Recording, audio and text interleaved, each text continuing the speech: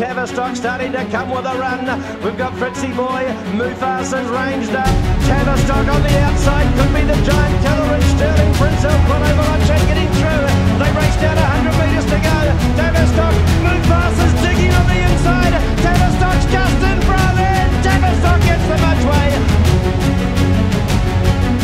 Has dashed to the front now.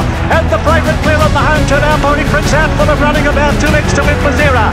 They're followed by Alberta Jazz. Bonecrusher from a long way back. This way back is finishing well. And Horlicks is down the outside. It's our Poetic Prince, the leader, halfway down the running. Bonecrusher finishing on. Our Poetic Prince and Horlicks is flying home, but our Poetic Prince in front, near home and will win. Our Poetic Prince well into the quarter. Horlicks second. And Bone